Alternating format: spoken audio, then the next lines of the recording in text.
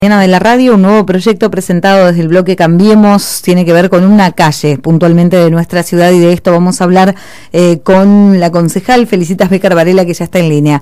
Felicitas, buen día, muchísimas gracias por atendernos. Hola, buenos días Andrea, buenos días a todos los vecinos, ¿cómo les va? Muy bien.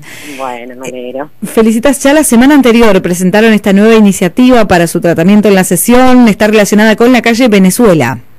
Sí, es una, en, la calle Venezuela, entre acceso Kirchner y ya hacia el final, se está construyendo el desagüe pluvial de la calle Venezuela, que es una obra que financia, eh, se financia con los fondos de infraestructura eh, municipal que envía la provincia de Buenos Aires.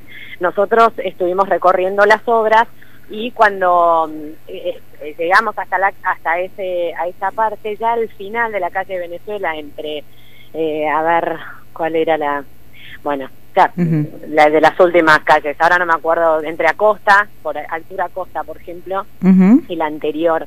Eh, vemos que la obra no está terminada, está abierta, está es un zanjón enorme con hierros que sale, se ve que son las bases de esos hierros, son la base para la estructura de hormigón que luego se va a levantar presuntamente. Eh, y vemos, se nos acercan los vecinos y nos dicen, eh, la verdad que esto es un peligro porque acá juegan chicos a la pelota, eh, pasan autos, gente en bicicleta, uno se puede caer y es un peligro para la integridad física de nuestros vecinos, sobre todo los niños y las familias que, que habitan en esa zona.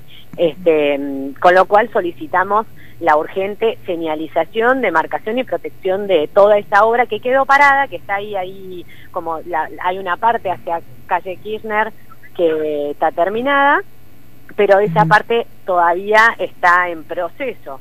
Eh, eso corresponde al Fondo de Infraestructura eh, Municipal del año pasado. Esos fondos fueron llegando eh, a lo largo del año pasado, con lo cual deberían estar terminando. Es una obra que la ejecuta el municipio a través de la cooperativa eléctrica y, este, bueno, ahí está. en presunto avance, pero muy peligroso para los vecinos, con lo cual solicitamos que, por favor, urgente, porque a ver, primero la integridad física de todos los vecinos y después la responsabilidad del municipio que eventualmente le llegara a pasar algo a alguno de los vecinos y eso lo va a tener que responder el municipio, la cooperativa eléctrica, con lo cual no queremos tampoco tener ese tipo de inconvenientes porque eh, se puede prevenir las obras cuando se realizan hay que realizarlas con responsabilidad no solo en el manejo de los recursos sino también en la protección y, y en el entorno donde se desarrollan no así que bueno un poco la la propuesta eh, para el, que el Consejo Deliberante solicite a la, a la gente de servicios y de obras públicas de la, municipalidad que haga la obra como corresponde y la demarque y la delimite para protegernos a todos. Bien.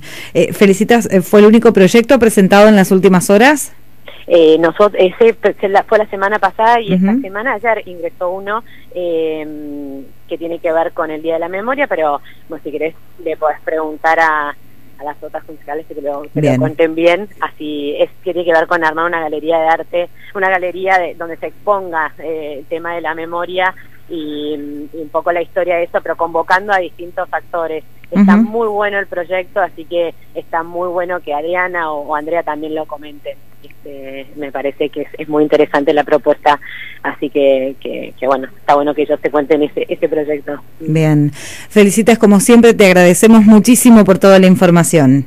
Bueno, no, gracias a ustedes y un beso grande para todos. A disposición, que tengas buen día. Gracias, adiós. Bueno, otro